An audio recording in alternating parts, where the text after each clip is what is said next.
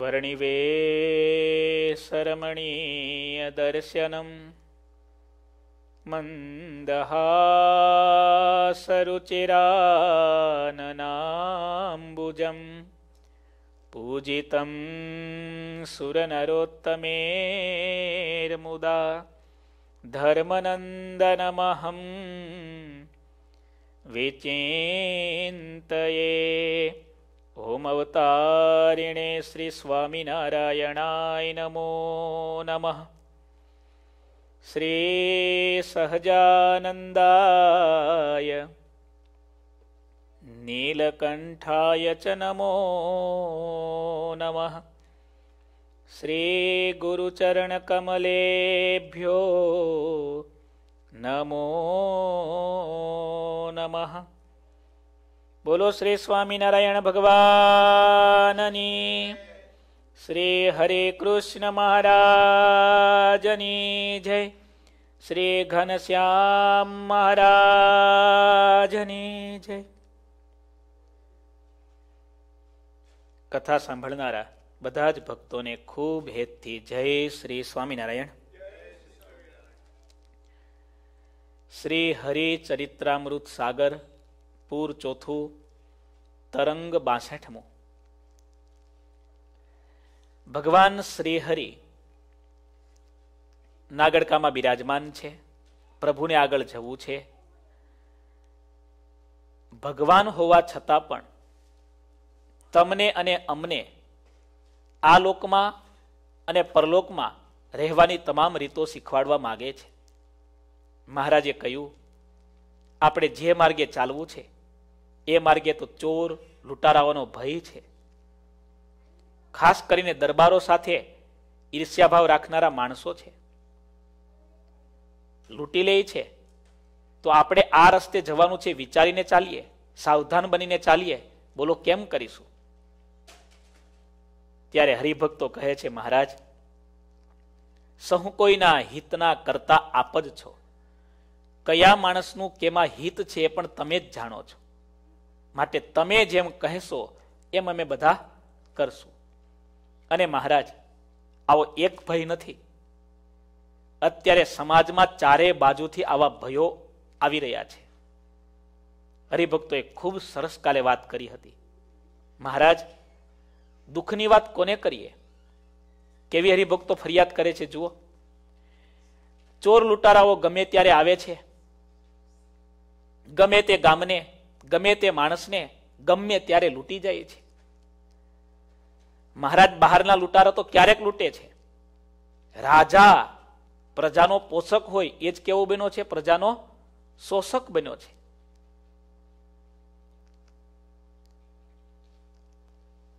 ગમે તેને લૂંટી લે છે. કોઈક માણસ દુઃખી હોય અને મદદ માગવા જાય. તો એ માણસને પણ એવો હેરાન કરે છે, એવો પીડે છે, એની પાસેથી પૈસાની આશા રાખે છે. એની પીડા દૂર કરવાની વાત તો દૂર, પણ એની પીડામાં પાછો ઉમેરો કરે છે. જેમ દાજિયા ઉપર ડામ આપવામાં આવે, એવી કંઈક દશા સમાજની થતી જાય છે. મહારાજ, હરિભક્તો વિનંતી કરે છે, રાજાઓ તો એટલા બધા બુદ્ધિહીન થઈ ગયા છે. જેમ પ્રજા દુઃખી થાય, તેમ મનમાં આનંદ માને છે. પ્રજાના સુખને તેઓ દેખી શકતા નથી. લો. આપણા ઇતિહાસમાં થોડા ઊંડા ઉતરીએ ને. ઇતિહાસમાં કેવા પ્રજાપ્રિય, પ્રજાપોષક રાજાઓ થયા છે. ગોંડલના ભગવતસિંહ બાપુ. ઇતિહાસમાં કોઈ પણ રાજાઓના નામ આવે, ત્યારે ભગવતસિંહ બાપુ મોખરે છે. સયાજીરાવ ગાયકવાડ મહારાજ એમની પણ સરસ વાતો છે ઇતિહાસમાં. દરબારો ઘણા બધા રાજાઓ થયા. વિદેશની વાતો પણ એટલી બધી છે. અમેરિકાના જ્યોર્જ વોશિંગ્ટન પહેલા પ્રેસિડેન્ટ કહેવાય છે, યુવાન હતા. લટાર મારવા નીકળેલા નદીની અંદર તણાતા કોઈ માણસને એને જોયો. આસપાસ કોઈ બચાવનાર નહીં અને એ સમયમાં ભર જુવાનીમાં જીવનને જોખમે મૂકી નદીમાં કૂદીને સાહસ કરીને એમણે એ માણસને બચાવેલો. આવા ક્રાંતિકારી વિચારવાળા અને એના દ્વારા ક્રાંતિ મહાન સર્જાણી કઈ ક્રાંતિ? આ દેશ જાગૃત થયો, દેશ આઝાદ બન્યો અને આઝાદ બનેલા અમેરિકા દેશના પ્રથમ પ્રેસિડેન્ટ પણ જ્યોર્જ વોશિંગ્ટન બન્યા. અમે એના હાઉસમાં પણ ગયા હતા. એનું હાઉસ છે.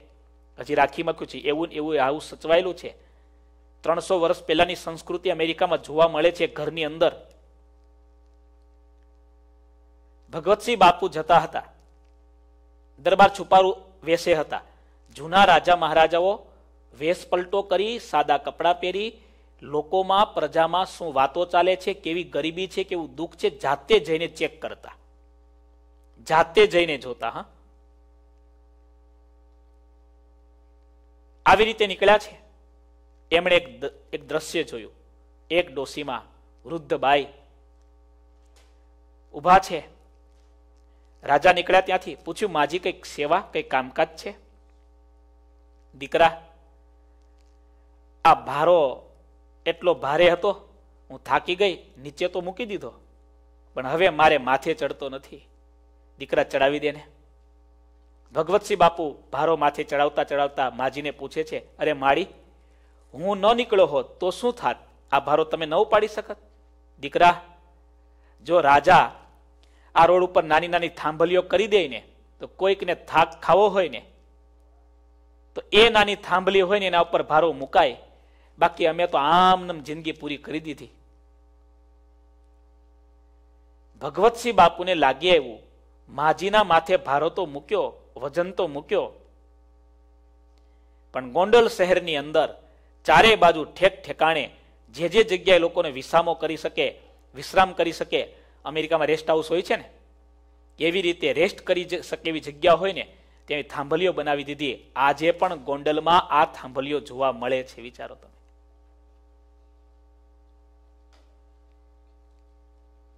જે રાજા કેવળ ને કેવળ પ્રજાના સુખનો જ વિચાર કરતા, મહાત્મા ગાંધી જમવા બેઠા, કસ્તુરબા કેરીનો રસ લઈને આવ્યા. બાપોને કેરીનો રસ પીરસ્યો. મહાત્મા ગાંધીએ ના પાડી. કસ્તુરબાએ આગ્રહ કર્યો. અને બાપુ રડી પડ્યા. મહાત્મા ગાંધી એમ બોલ્યા, આખો દેશ મને બાપુ કહે છે. હું એવો કેવો બાપ કે મારા દેશના, મારા દીકરાઓ દુખી હોય અને હું આ કેરીનો રસ ખાઉં? રડી પડ્યા ઊભા થઈ ગયા. કસ્તુરબા સમજી ગયા. પછી રસ ન આપ્યો એમને. મહાત્મા ગાંધીના શરીર ઉપર તો બેરિસ્ટર થયેલા હતા. એ જમાનામાં ઇંગ્લેન્ડમાં ભણેલા હતા. કેવા સારા કપડા પહેરવા ટેવાયેલા હતા. વિદેશમાં તો જ ગયા હોય ને. સુટેડ બુટેડ હતા. બિહારમાં એમણે ઘટના જોઈ. એક દ્રશ્ય જોયું. કેટલું કરુણ દ્રશ્ય હતું. એ તો તમે ઇતિહાસમાં ઊંડા ઉતરો તો જ ખ્યાલ આવે. મહાત્મા ગાંધીએ ત્યાં સુધી દયનીય સમાજ જોયો કે બહેનો પણ પોતાના શરીર ઢાંકી શકે એટલા કપડા જોયા નહીં. આવી ગરીબી બિહારમાં મહાત્મા ગાંધીએ જોઈ અને ત્યારે જ સંકલ્પ કર્યો કે મારા દેશની પ્રજા પાસે પહેરવાના કપડા નથી, હું આટલા મોંઘા કપડા ખરીદું? ધિક્કાર છે.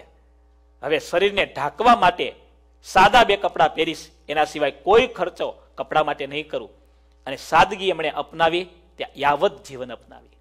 ગુલજારીલાલ નંદા ભારતના વડાપ્રધાન થયા. આપણા દેશને એવા સારા સારા માણસો મળ્યા છે. પણ આમાં આવશે. મારે તમને એટલે વાત કરવી છે. આ બહુ જાણવા જેવી વાત છે. આગળ મહારાજ કહેશે, આ હરિભક્તો પણ કહેશે. જાગૃતિ એકલા રાજામાં નહીં, પ્રજામાં પણ જરૂરી છે. પ્રજામાં જો જાગૃતિ નથી, તો ગમે તેવો સારો રાજા હશે ને, અપનાવી નહીં શકે, સ્વીકારી નહીં શકે. ગુલજારીલાલ નંદા જ્યારે ભારતના વડાપ્રધાન બન્યા, ત્યારે પેલા લાલ ઘઉં ચાલતા ખબર ને? બરાબર? સારા ઘઉં પણ લોકોને ખાવા નહોતા મળતા અને એ ગરીબીમાં, એ સમયમાં કહેવાય છે, ગુલજારીલાલ નંદા પોતે ભગવાન સ્વામિનારાયણના ભક્ત હતા, પૂજાપાઠ કરતા હતા, ધર્મનિયમ પાળતા હતા, આવા પવિત્ર ધાર્મિક રાજા હતા. પોતે પણ ક્યારેય સારું ખાતા નહીં. ક્યારેય સારું ખાતા નહીં. લાલ બહાદુર શાસ્ત્રીજી, એની તો વાતો તમે ઇતિહાસમાં આખા ચોપડા ભરાય ને. ક્યારેય પોતાના કપડા ધોવા માટે નોકર નહોતા રાખતા. ઘરના પડદા જૂના થઈ ગયેલા. બદલવાની વાત આવી. એમણે ઘસીને ના પાડી દીધી કે હજી સમાજમાં, દેશમાં આટલી બધી ગરીબી છે. આ બદલવાની શું જરૂર છે? સમાજનું કામ કરીએ, સેવાનું કામ કરીએ, જોયું? કહેવા એ માગું છું. આપણા શાસ્ત્રોમાં લખ્યું, કૃષ્ણકાંતભાઈ ઉનડકટનો હમણાં થોડા દિવસ પહેલાનો બહુ સારો લેખ એમણે મને મોકલ્યો. બહુ સરસ એમણે નાની વાત લખી હતી. આપણે વેદ ન વાંચી શકીએ તો ચાલશે. આપણે વેદ ન વાંચી શકીએ તો ચાલશે. પણ કોઈની વેદના જો નહીં વાંચી શકીએ ને, તો નહીં ચાલે. આજનો માણસ સંવેદનહીન બની ગયો છે. આજનો માણસ પથ્થર કરતા વધારે કઠોર બની ગયો છે. બીજાની સંવેદનાની ક્યાં વાત? પોતાનો સમાજ, પોતાનો પરિવાર, પોતાનું ઘર, એનું કંઈક દુઃખમય વાતાવરણ હોય ને, એ પણ લોકો નથી સમજી શકતા, નથી સુધારી શકતા, એવા તો ઢગલો માણસો મેં જોયા છે.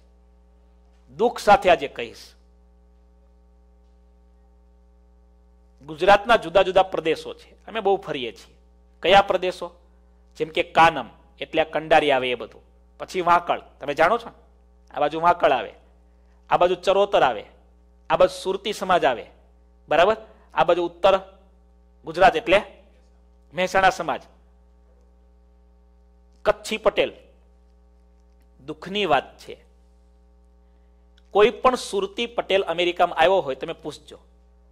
મેં તો એક નહીં, બે નહીં, ત્રણ નહીં, પાંચ, દસ, પચીસ દાખલાઓ જોયા છે. કોઈ પણ સુરતી સમાજનો માણસ ઇન્ડિયાથી આવે, એનો સમાજ એનો હાથ પકડે. થોડા જ દિવસમાં એને એવો સરસ મજાનો સેટ કરી દે, એનો બિઝનેસ એનું ઘર, એનો પરિવાર, બધું સેટ થઈ જાય, બધું જ. તમે જોજો, ઇતિહાસ તપાસ કરવા જેવો છે. એ લોકોના કુસંસ્કાર છે. આપણે એને છોડી દઈએ ખાવા પીવાનું બહુ વધી ગયું છે. એમાં સારી વાત કઈ પડી છે, જુઓ તમે. કચ્છી લોકો. અમે આફ્રિકામાં જોયું, ઓસ્ટ્રેલિયામાં જોયું, યુકેમાં, લંડનમાં જોયું, સિસલ્સમાં જોયું, મોરેશિયસમાં જોયું. કોઈ પણ કચ્છી સમાજનો દીકરો આવે, એનો હાથ આખો સમાજ ચાલે, હા, હરીશભાઈ.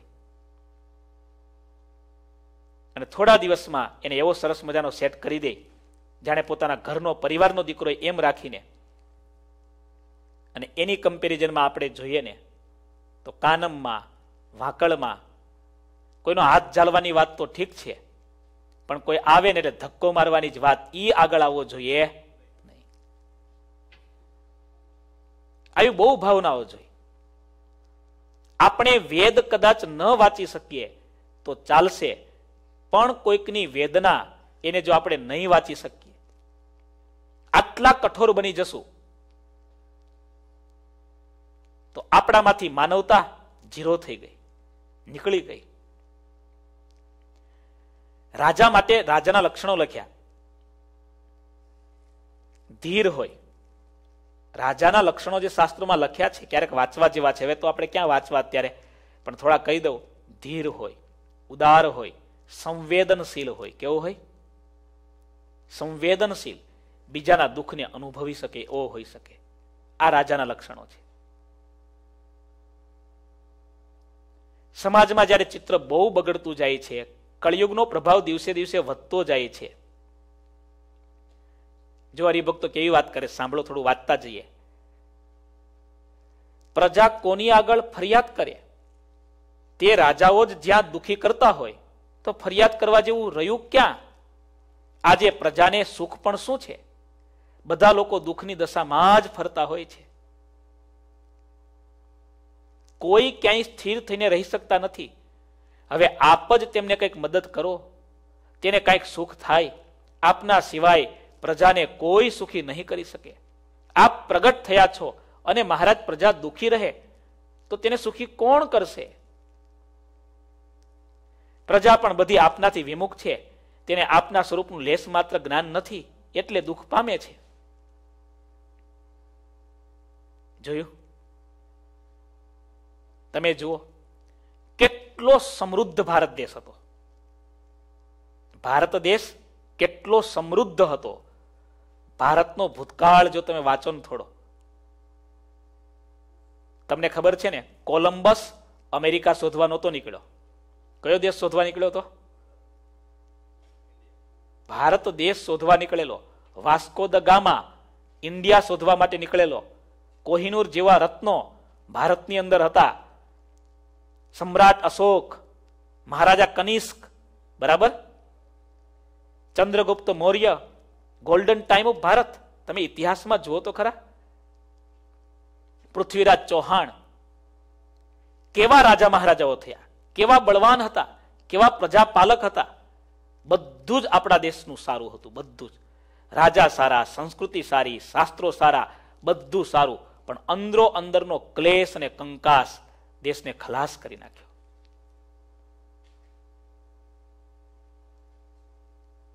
એક એક રાજા લડતા હોય, બીજા ચાર રાજા હામેના પક્ષને મદદ કરતા મારો એને ઈજ લાગનો છે, બસ. તમે જાણો છો ને? માટે કહેવાનું શું? શ્રીજી મહારાજે આ પૃથ્વી ઉપર આવીને, ભગવાને આ પૃથ્વી ઉપર પધારીને ખૂબ મોટી ક્રાંતિ કરી. દેશનું, ધર્મનું, સમાજનું કેવી રીતે હિત થાય એમાંની આ વાત છે. અત્યારે પણ સમય એવો છે, આપણે બધાએ જાગૃત રહેવાની જરૂર છે. સતી, સૈનિક અને સંત, આ ત્રણ સંસ્થા એવી છે, એની સલામતી, તો સમાજની સલામતી, ધર્મની સલામતી અને દેશની સલામતી. સતી એટલે સન્નારી. સન્નારી જો સલામત રહી, તો સમાજ સલામત રહી શકે. કારણ કે સમાજનું નેતૃત્વ નારી જ કરી શકે. દીકરાને જન્મ કોણ આપે છે? માં આપે છે. એનું પોષણ કોણ કરે છે? માં કરે છે. પિતા ગમે એટલા બળવાન હોય, બુદ્ધિમાન હોય, પણ દીકરાનું પોષણમાં સિવાય ન કરી શકે કોઈ. કરી શકે? નાના એવા ટાબરિયાને એનું સહન કરવું, એટલું સહન કરીને પણ એનું જતન કરવું, રક્ષણ કરવું થાય? આપણા મંદિરમાં ઘણા હરિભક્તો છે ને, થોડી વારમાં થાકી જાય. દેખાય આવે આપણને. એક સતી. એટલા માટે શ્રીજી મહારાજે કરેલા ક્રાંતિકારી કાર્યોમાં આપણા સત્સંગમાં આપણે ઓછું ધ્યાન આપીએ છીએ, પણ જેટલા જેટલા સત્સંગ સિવાયના લેખકોએ મહારાજ વિશે સારા સારા અનુભવો લખ્યા છે, એમાં વધારે વધારે જે હાઇલાઇટ થાય, દીકરીને દૂધ પીતી કરવાનું બંધ કરાવ્યું. નામ કેટલું સરસ સુવાળું. જાડેજા કોઈના સારા ન થાય. દરબારોમાં એક અપસુકન મનાતું દીકરીનો જન્મ. દરબારો ભેગા થાય, ઉત્સવ કરે, ઉત્સવનું નામ દીકરીને દૂધ પીતી કરવાની, એટલે કે દીકરીને મારી નાખવાની. આવો કુરિવાજ લોકમાં એટલો બધો વ્યાપક બન્યો હતો, ઘરી ગયો હતો, કાયદેસર બની ગયો હતો, બોલો. કુરિવાજ કેવો બન્યો હતો?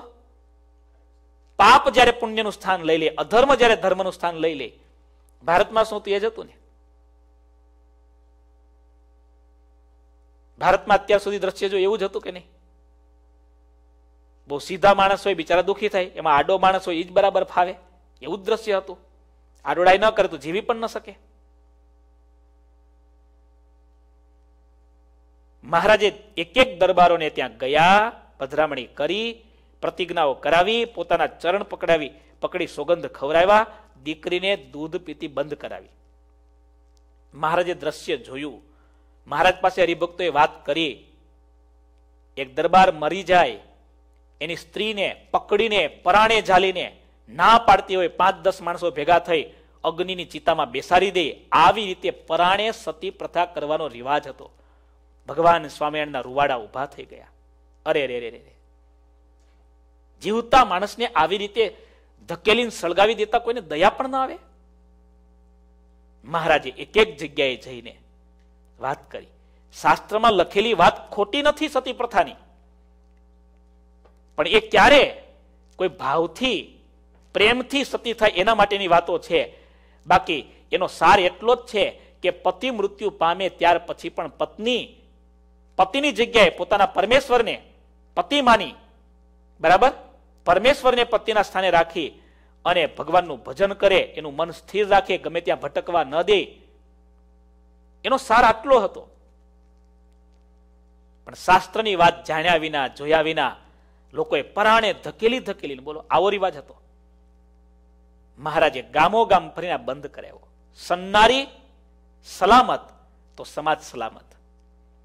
સ્ત્રીસુ, દુષ્ટાસુ, વાર્ષ્ણેય જાયતે વર્ણશંકર. ભગવાન શ્રી કૃષ્ણ ગીતાની શરૂઆત કરે ત્યારે અર્જુનને પણ મોટી મૂંઝવણ આ જ હતી. અને આજે સમાજમાં વધારેમાં વધારે શિકાર જેનો થઈ રહ્યો છે, તમે જાણો છો.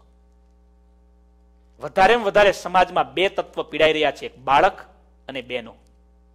મને કોઈ હમણાં જ વાત કરતા હતા. નાના દીકરાઓનું, મરેલા દીકરાઓનું આખું કન્ટેનર મળી આવ્યું છે ક્યાંકથી? કેટલા બધા છોકરાઓને કેવી રીતે નરાધમ માણસોએ માર્યા છે, વિચારો તમે. આજે શું પાપ નથી થતા સમાજમાં? અને પાપ કરાવનારા કોણ છે? પૈસા. પૈસા વાળા અધર્મી, ઉદ્દંડ લોકો. એટલા માટે શાસન સારા વ્યક્તિના હાથમાં હોય તો આ બધું અટકી શકે. બાકી શાસન વિના, સત્તા વિના આ ધર્મના દરવાજા ક્યારે બંધ થવાના નથી. એટલા માટે સારો રાજા જરૂરી છે. કા ભગવાન કરી શકે અને કા રાજા કરી શકે. એક સતી પ્રથા. મહારાજે બંધ કરાવી. દૂધ પીતી દીકરીઓ બંધ કરાવી. સન્નારીનું જીવન સલામત કરાવ્યું. સંતો જે ત્યાગનું પ્રતીક, ધર્મનું પ્રતીક, એમાં દંભ, પાખંડ એટલી હદ સુધી ઘરી ગયા હતા. મહારાજે માનસરોવરના હંસોને જોઈને પ્રતિજ્ઞા કરી કે આ હંસ ક્યારેય માછલીમાં મન જવા ન દે. મોતીનો જ ચારો કરે. આવા હંસ મારે પૃથ્વી ઉપર ફરતા કરવા છે. અને એમણે પાંચસો પરમહંસોને આ પૃથ્વી ઉપર એવા ફરતા કર્યા, એવા ફરતા કર્યા, સમાજ માટે રોલ મોડલ બનીને સંતો ગામે ગામ જતા અને એક એક જીવને અધર્મમાંથી કાઢતા, વ્યસનોમાંથી કાઢતા અને આજે આપણે જોઈએ છીએ ભગવાન સ્વામિનારાયણના સાધુઓ દ્વારા કેટલી મોટી ક્રાંતિ સમાજમાં થઈ છે, કેટલી મોટી ક્રાંતિ. ભલે જે સંસ્થામાં છે, ભલે જે જગ્યાએ બેઠા છે, પણ ભગવાન સ્વામિનારાયણના નિયમ ધર્મ પાળે છે ને એવા સાધુઓ દ્વારા આ સમાજમાં અત્યારે સૌથી મોટી ક્રાંતિ થઈ રહી છે. સૌથી મોટી ક્રાંતિ, હા. ત્રણ સંસ્થા છે. એક સતી, એટલે સન્નારીઓ, સંત એટલે સાધુ, અને ત્રીજો છે સૈનિક સમાજ. સન્નારી સલામત, તો સમાજ સલામત. સંતો સલામત, તો ધર્મ સલામત. અને સૈનિકો સલામત, તો દેશ સલામત. આ વાત એટલા માટે મારે કરવી પડે કે જાજા લોકો બટેકાનો ભાવ, ટમેટાનો ભાવ, એની જ ચર્ચાઓ, રિઝર્વેશન, અનામત પ્રથા, એની જ ચર્ચાઓ. પણ એનાથી સમાજનું ભલું નથી. એનાથી લાંબા હિતો આપણી પાસે નથી રહેવાના. આપણી પાંચ પેઢી સુધીના હિત એમાં નથી. હિત એમાં છે જ્યાં ધર્મ છે. હિત એમાં છે જ્યાં ધર્મ સંબંધી કાર્ય છે. માટે આપણે સમાજમાં પણ આવી જાગૃતિ આપણાથી જેટલું થઈ શકે કરવાની જરૂર છે. હરિભક્તો કહે છે, મહારાજ, ફરિયાદ પણ કોને કરવી? વાડ જ્યારે પોતે ચીભડા ગળવા નીકળી છે. કોણ ન્યાય કરે? ન્યાયનો કરનારો જ જ્યારે અન્યાયથી ખરડાયેલો હોય, ત્યારે કોણ કેવી રીતે ન્યાય કરે? હરિભક્તોએ પોતાની અંદર રહેલી પીડા મહારાજ પાસે રજૂ કરી છે અને કહ્યું છે, મહારાજ જાસે સુખી હો વે અબ વારે, તાકો દ્રોહ કર હોવત ખારે તો હું તુમ બિન કો મીતા, કરન અતિશય તાકો હિતા.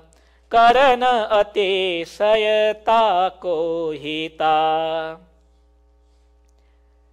જેના આશ્રયથી સુખી થઈ શકાય છે, એવા પરમેશ્વર એનો જ સમાજ દ્રોહ કરી રહ્યો છે, બોલો. કોનો દ્રોહ કરી રહ્યો છે? ભગવાનનો દ્રોહ કરી રહ્યો છે. જેનાથી સુખી થયો છે ધર્મ, એ ધર્મની જ મર્યાદા સમાજ તોડી રહ્યો છે, સુખી થવા માટે. હવે સુખી થશે ક્યારે? થશે સુખી. છતાં પણ આપના સિવાય પ્રજાનું અતિશય હિત કરનારો બીજો કોઈ મિત્ર નથી, પ્રભુ. પ્રજા તો પુત્ર તો કુપુત્ર બની શકે. તમે તો માં છો. માં ક્યારેક કુમાતા ન બને.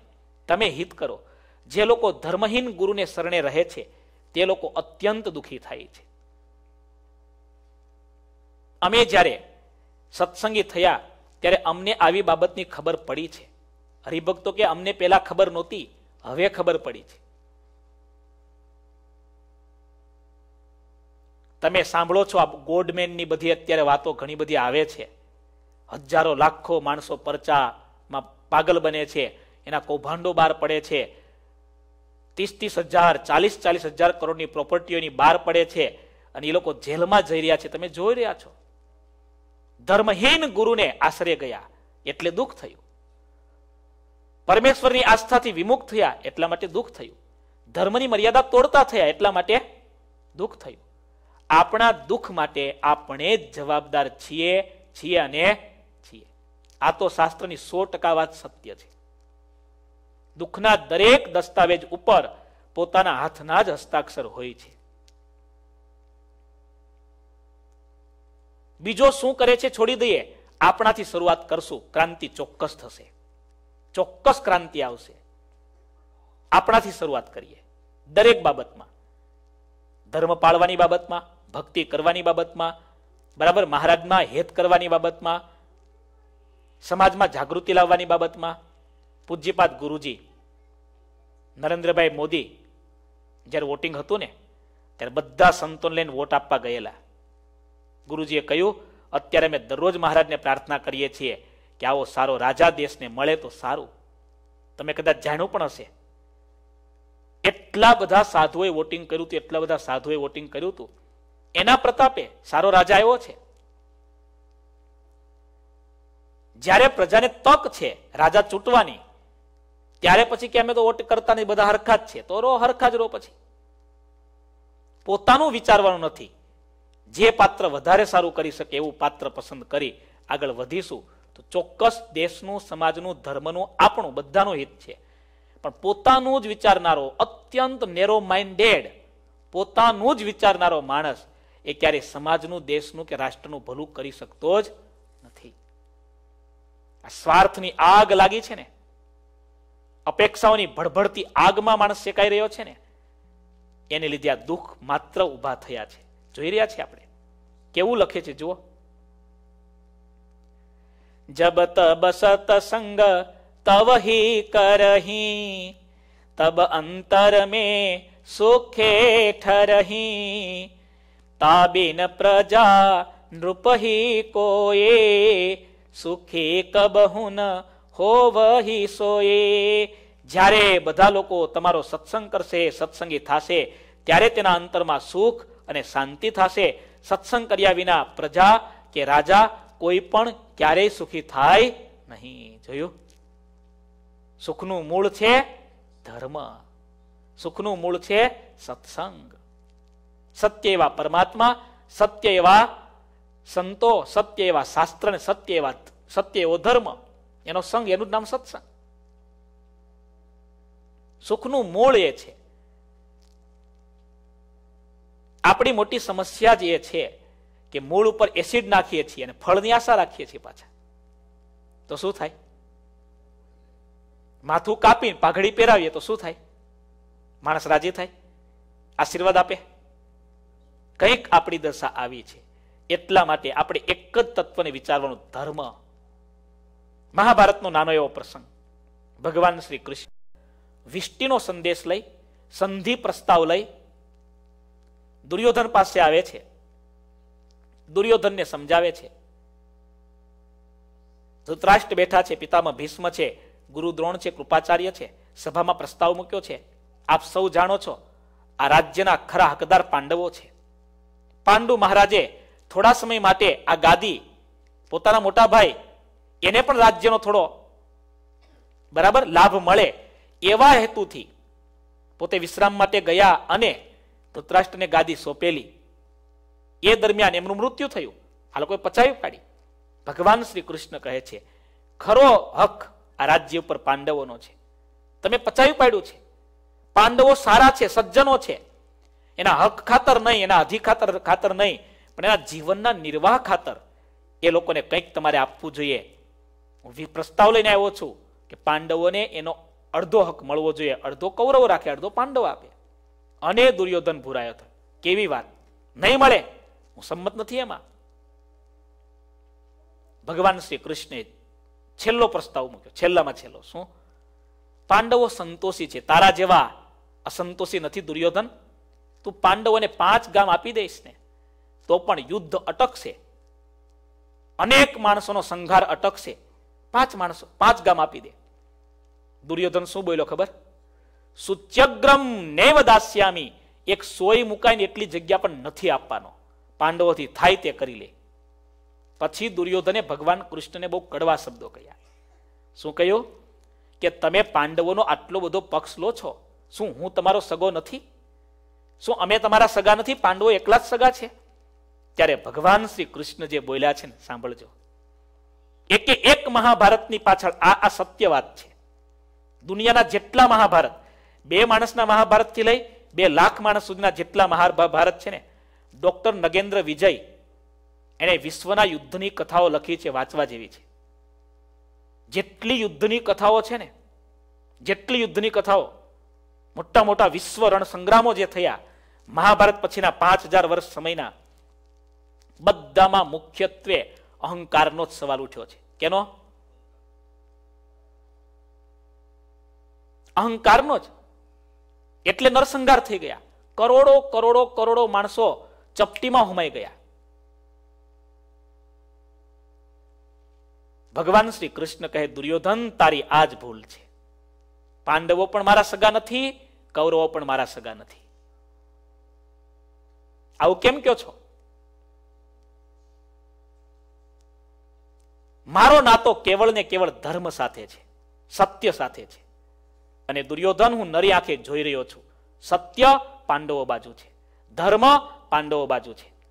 એટલે અમારી ઈચ્છા છે કે એને ન્યાય મળવો જોઈએ અને દુર્યોધન સાંભળી લે. યુદ્ધ માટે હવે તારે કેવું જ છે ને? તો બધો જવાબ યુદ્ધમાં જ તને આપીશું.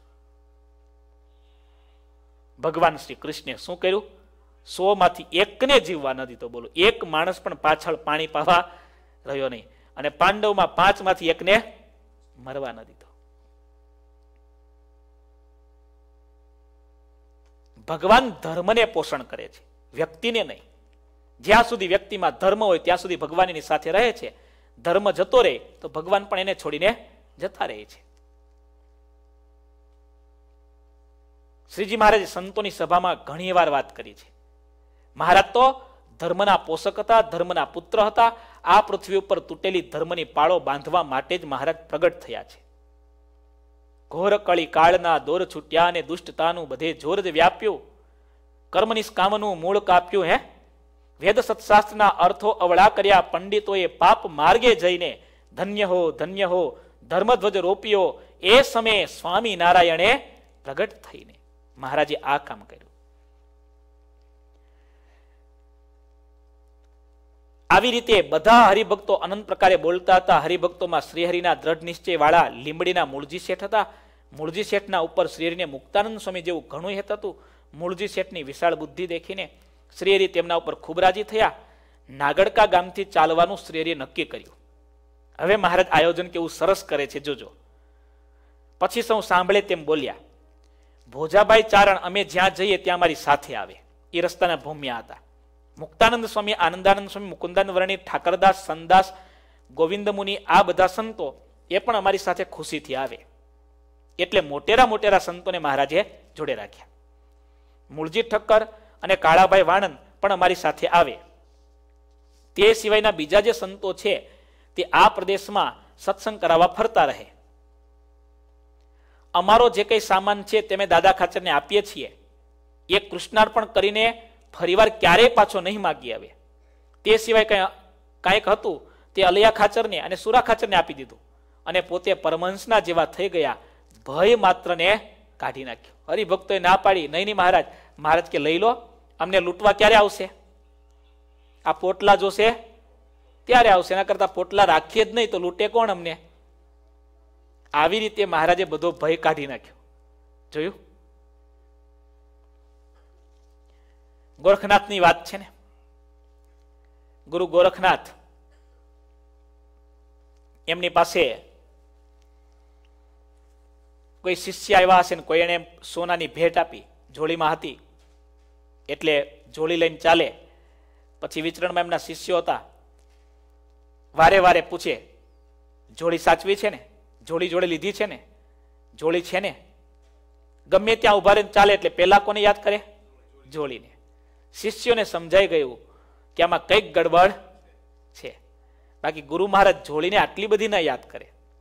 એટલે કોઈક જગ્યાએ વચ્ચે જંગલમાં પાછો વિસામો કરવા ઊભા રહ્યા, જોડી મૂકી અને વિસામો કરવા રહ્યા છે. પાછા જવાનું થયું એટલે ફરી પૂછ્યું, જોડી ઉઠાલી? જોડી લઈ લીધી? ત્યારે પેલા શિષ્યોએ કહ્યું ગુરુ મહારાજ આપ નિશ્ચિંત થઈ જાઓ કેમ इसमें जो भय था ने वो हमने डाल दिया આમાં જે સોનું હતું એ અમે નાખી દીધું હવે આમાં કઈ ભય જેવું છે નહીં સંપત્તિનો ભય આ દુનિયામાં મોટા મોટો ભય છે એટલા માટે પાણી અને પૈસો એ ભેગા થાય ને તો દુર્ગંધ જ મારે બાબુ કાકા પાણી અને પૈસો ભેગા થાય ને એ દુર્ગંધ જ મારે એ વહેતા રહેવા જોઈએ. એમાં સમાજનું જો પાણી વહેતું રહે તો કેટલું સરસ. જ્યાં જ્યાં વહે, ત્યાં બધે પ્રદેશો લીલા થાય, લોકોને પાણી મળે, ખેતી સારી થાય, કેટલા બધા લાભ. પૈસો પણ ફરતો રહેવો જોઈએ. અમેરિકાની પોલિસી તમે જુઓ, મની રોટેશન તમે જુઓ, ટ્રાન્ઝેક્શન તમે જુઓ, અને એટલા માટે આ દેશ સુખી છે. આમ બધા ગરીબ છે, આમ બધા કડકા છે, ખિસ્સામાં કશું ના હોય. બધા દેવાદાર છે, બધા ઋણી છે, પણ તોય બધું ચાલે છે. આપણા ઇન્ડિયામાં ગામમાં જ બેઠો હોય, જો બધા આખા ગામમાં બધાને વેચે ને, તો બધા કરોડપતિ બની જાય, એટલા પૈસા લઈને ગામમાં બેઠો હોય, તો આખું ગામ દુખી હોય. એ પણ પોતે દુખી હોય. પૈસો ભેગો થાય, ત્યારે પાણીમાં જેમ દુર્ગંધ આવે, એના કરતા મોટી દુર્ગંધ આવે કઈ? પૈસો તમને અધર્મ તરફ પ્રેરે છે. પૈસો તમને ખોટું કામ કરાવે છે. પૈસામાં એટલે કે અર્થમાં ચૌદ પ્રકારના અનર્થો શ્રીમદ ભાગવતમાં ગણાવ્યા છે. ભક્ત ચિંતામણીમાં નિષ્કુળાનંદ સ્વામી કહ્યું છે, ખોટું બોલતા શીખવાડે. ક્યારેક લઈશું આપણે. ચૌદ પ્રકારના પાપ પૈસો ન કરવા હોય તો પણ કરાવે. મંદિરવાળાને પણ કરાવે છે. એટલે મંદિરોમાં પણ જ્યાં જ્યાં બહુ ભેગા થયા ત્યાં બધે, હા, સારા કામમાં વાપરી નાખો. ત્યાં પ્રોબ્લેમ નથી, બરાબર? આ સત્સંગની તમે વિશેષતા જો શ્રીજી મહારાજે સંતોને એટલા માટે ધનથી દૂર રાખ્યા. પૈસાથી મહારાજે દૂર રાખ્યા. હરિભક્તો ઇન્વોલ્વ કર્યા. હરિભક્તો સાથે હોય, એ લોકો ડોનેશન આપતા હોય, એટલે પૈસો સારી જગ્યાએ વપરાતો જાય. મંદિરો થતા જાય, સમયા ઉત્સવ થતા જાય, સમાજ સેવાના કાર્યો થતા જાય, એટલે ભેગો ન થાય. તો પરિણામે જે પૈસો સમાજનું સારું પણ કરી શકે છે, એ જ પૈસો સમાજનું ખરાબ પણ કરી શકે છે. મૂળ તો જગતના જેટલા સારા ને ખરાબ તંત્રો ચાલે છે, પાપ અને પુણ્ય થઈ રહ્યા છે, આ બંનેની પાછળ કોણ તત્વ છે? પૈસો. વાત તો સાચી જ ને. અને એટલે તો આ નોટબંધી થઈ. એટલા માટે આ બ્લેક મની ઉપર સીધો એટેક થયો. કારણ કે એના ઉપર એટેક કરવાથી આતંકવાદ ઉપર, બરાબર? ગરીબી ઉપર, સમાજમાં જે વિષમતાઓ છે એના ઉપર બધા ઉપર બંધ આવી ગયો. એટલા માટે બહુ જરૂરી છે શ્રીજી મહારાજે ભય માત્ર કાઢી નાખ્યો. સાધુ ઉપરથી પણ મહારાજે ભય માત્ર લઈ લીધો. મહારાજ તમને બધાને પણ આજ્ઞા કરે છે, બહુ ભય રાખતા. નહીં. હમણાં તો મને ખબર નથી બાકી વચ્ચે તો જોર્જિયા મેકન બાજુ આપણા ગુજરાતી લોકો ઉપર એટલી બધી રેડ પડેલી બાબુ કાકા હમણાં બે વર્ષ પહેલાં એટલી બધી રેડ પડેલી. તમે બધાને ખબર છે એટલે ઇન્ડિયન લોકો તો અહીંયા પણ રેડ પાડવામાં ચોરો પણ સૌથી પહેલું ઘર કોનું શોધે છે? હા ઇન્ડિયન એમાં ગુજરાતી. ગોલ્ડ ત્યાંથી જ મળે છે લો. એટલે બહુ ભય ભેગો કરવો નહીં. શાસ્ત્રની મર્યાદા તોડે છે. એને ભય ઊભો થાય થાય અને થાય આવી રીતે મહારાજે ભય કાઢી નાખ્યો. પછી શ્રીહરિએ જીવબા રાજબાઈને સમાધિની પરિપક્વતા કરાવી દીધી. તેઓ જ્યારે ભગવાનની મૂર્તિને ધારતા ત્યારે તે મૂર્તિ દ્રષ્ટિ આગળ દેખાતી. એવી જ રીતે કરિયાણાના મીણબાઈને પણ પરિપક્વ ધારણા હતી. તે ત્રણેયને મોટા યોગી હોય તેવા સમાધિના ક્ષેત્રમાં સ્વતંત્ર કરી દીધા. જીવુબા રાજુબા અને કરિયાણાના મીણબા આ ત્રણ સ્ત્રી ભક્તો એવા હતા. ગમે ત્યાં બેઠા હોય, શ્રીજી મહારાજ ગમે તે જગ્યાએ વિચરણ કરતા હોય, ગમે તે ચરિત્ર કરતા હોય, ગમે તે વાત કરતા હોય, ત્રિકાળ દશા. એ બેઠા બેઠા મહારાજની બધી લીલાઓ જોઈ શકે, જાણી શકે, સાંભળી શકે, માણી શકે.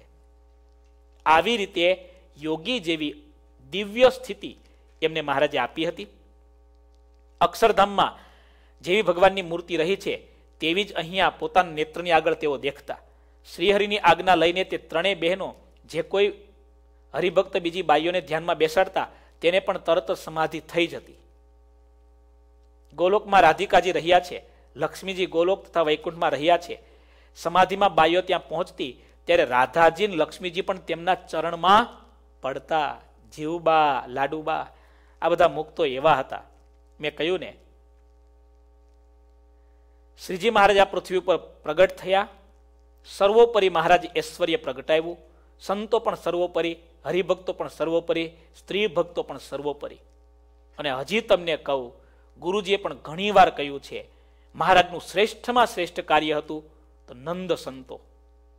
એવા ઉત્તમ કક્ષાના સાધુઓ લાવ્યા જેનાથી સમાજમાં આદર્શ સાધુઓ દ્વારા આખો આદર્શ સમાજ તૈયાર થયો. એટલું ક્રાંતિકારી શ્રીજી મહારાજનું બીજું પાસું હતું, એવા એકાંતિક સ્ત્રી ભક્તો તૈયાર થયા. જેને મહારાજ અક્ષરધામમાંથી જ લાવ્યા હતા, જીવબા લાડુબા વગેરે. એક એક મુક્તોની કેટલી વાતો આપણે સાંભળીએ. પૂજ્ય ગુરુજીએ સહજાનંદી સિંહણ કથા કરી છે, આપણે જાણીએ છીએ. આ સત્સંગની એવી હજારો જનેતાઓને વંદન કરવાનું મન થાય, આજે પણ સત્સંગમાં, મહારાજના સમયમાં પણ, ભગવાન શ્રી કૃષ્ણના સમયમાં પણ, ભગવાન શ્રી રામના સમયમાં, ઇતિહાસમાં પહેલેથી અત્યાર સુધી ધર્મ જગતમાં પુરુષો કરતા બહેનોનું યોગદાન વધારે રહ્યું છે, સવાયું રહ્યું છે. આજે પણ તમે સેવામાં જુઓ ધર્મનિયમમાં જુઓ, ભજન ભક્તિમાં જુઓ, બધી જગ્યાએ બહેનો આગળ છે.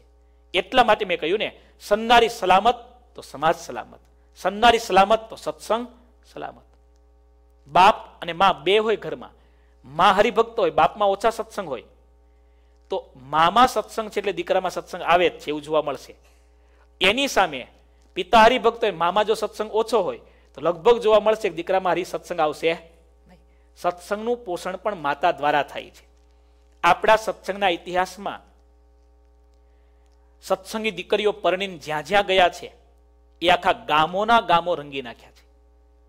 એવા કેટલા ગામો, એમ કહેવાય, મામાનો સત્સંગ આવ્યો છે. આખા ગામમાં શું કહેવાય? મામાનો સત્સંગ આવ્યો છે. સંતો દ્વારા અને સહજાનંદી સિંહણી એવી સ્ત્રી ભક્તો દ્વારા સત્સંગ જેટલો ફૂલો છે ને, એટલો પુરુષ ભક્તોએ કઈ ફૂલે, બહુ સત્સંગ ફેલાવ્યો. એ ખાલી ભજીયા ઉત્સવ ને શાકોત્સવ ને એમાં બરાબર છે, હે? જે છે કેવું પડે ને. જીવબાને આપણે જાણીએ છીએ, લાડુબાને જાણીએ છીએ, રાજુબા, વાંક્યાના. કેવી સ્થિતિ હતી? બળી તારી ચુંદડી આટલું બોલે ને, લગ્ન માટેની ચુંદડી આવેલી, માં લઈને આવે, સમાચાર આપે, રાજુ, બેટા, તારી ચુંદડી આવી ગઈ. પરણવા તૈયાર થા. અરેરાટી બોલી ગઈ, બા, તારી ચુંદડી બળે. આમ બોલે ને ત્યાં તો ભડભડતી બળી જાય ચુંદડી, હે? રાજુબા દેહ છોડે એના શરીરને અગ્નિ દાહ આપવા માટે અગ્નિ પ્રગટાવે, પણ અગ્નિ પ્રગટ ન થાય. અગ્નિ દેવ પુરુષ છે. આખી જિંદગી છેડાવ્રત રાખનારા રાજુબા મન કર્મ વચને પુરુષનો એને સ્પર્શ નથી કર્યો. એને ડર લાગી ગયો. અગ્નિદેવને ડર લાગ્યો કે આ સન્નારી, આ પતિવ્રતા નારી, એનો જો હું સ્પર્શ કરીશ અને કદાચ કોપશે સાપ આપશે તો અગ્નિ જ ન લાગે, અગ્નિ જ ન લાગે. થાકી ગયા. ગોપાળાનંદ સ્વામી પાસે પ્રાર્થના કરવા આવ્યા સ્વામી. અમને સમજાતું નથી. રાજુબાના પાર્થિવ દેહને મૃતદેહને અગ્નિ લાગતો જ નથી. સ્વામી તો સમાધિવાળા હતા, દિવ્ય રૂપે જાણનારા હતા. સ્વામીએ કહ્યું, અગ્નિદેવ ડરે છે, એટલે પ્રગટ નથી થતા. અમે પ્રાર્થના કરીએ છીએ, એને આદેશ કરીએ છીએ કે હવે તો આ મુક્ત આ શરીરમાંથી ધામમાં જતા રહ્યા છે. આ ખોળ્યું છે ખાલી. માટે અમે આજ્ઞા કરી છે, હવે અગ્નિ લાગશે, તમે જાઓ. મીણબા પણ એવા હતા. મીણબાની વાત એવું કહેવાય છે, શ્રીજી મહારાજ એમ કહેતા, આ દેવહૂતિનો અવતાર છે. કરિયાણા ગામના મીણબાઈ સ્ત્રી ભક્તોએ આ બધા ભક્તોના જીવનો જરૂર વાંચવા જોઈએ. પુરુષ ભક્તોએ પુરુષોના જીવન વાંચવા જોઈએ. અને સંતોએ સંતોના જીવન વાંચવા જોઈએ. જીવનથી જ જીવન ઘડાય છે. આ બહુ ચોખ્ખું ગણિત છે. અત્યારે સંપ્રદાયના, અત્યારના સમયમાં જેવી રીતે નંદ સંતોના જીવન અપ્રાપ્ય હતા, ખૂબ મહેનત કરીને નંદ સંતોના જીવનો પ્રકાશિત થઈ ગયા થોડા સમય પહેલા. અત્યારે આખા સંપ્રદાયમાં, આપણા આખા સંપ્રદાયમાં, બધી શાખાઓમાં, બધી સંસ્થાઓમાં મહારાજ કાલીન સ્ત્રી ભક્તોના ઇતિહાસો ઉપર એટલું બધું સાહિત્ય પ્રકાશિત થઈ રહ્યું છે, એટલું બધું સાહિત્ય લખાઈ રહ્યું છે, કારણ કે એવા એવા અદ્ભુત પ્રસંગો બહેનોના છે. એમનું બલિદાન એટલું જબરજસ્ત આ સત્સંગમાં રહ્યું છે. એટલું જબરજસ્ત બલિદાન. અને બાબુ કાકા ખરેખર બહેનો, એટલા માટે કહું છું, સન્નારીનું જો જતન થાય ને, તો આ સમાજનું સૌથી મજબૂત પાસું ત્યાં છે. આ સત્સંગમાં એવા એવા સ્ત્રી ભક્તો થયા છે, એમના ઇતિહાસો પ્રકાશિત થઈ રહ્યા છે. સ્ત્રી ભક્તોએ જરૂરથી વાંચવા જોઈએ. રાધા, રાધિકાજી, લક્ષ્મીજી તે પણ ભક્ત બાઈઓને ધન્યવાદ કહેતા તમને જે મૂર્તિ મળી છે તે સર્વોપરી છે. તેથી અમે તમને નમીએ છીએ. ધામમાં રાધાજી અને લક્ષ્મીજીએ તે બાઈઓને જેમ કહ્યું હોય, તેમ તેઓ સમાધિમાંથી જાગીને બીજા લોકો આગળ કહેતા શ્રીહરિએ જીવુબાને અને રાજબાઈને આવા સમાધિનિષ્ઠ કર્યા હતા. ઇતિ શ્રી સહજાનંદ સ્વામી શિષ્ય સિદ્ધાનંદ મુનિ વિરચિત શ્રી હરિચરિત્રામૃત સાગરના ચતુર્થ પૂરમાં શ્રીહરિએ પૂછ્યું, ત્યારે ભક્તોએ દેશની અરાજકતા સ્થિતિ કહી, એ નામે બાસઠમો તરંગ સમાપ્ત થયો. બોલો ઘનશ્યામ મહારાજની જય.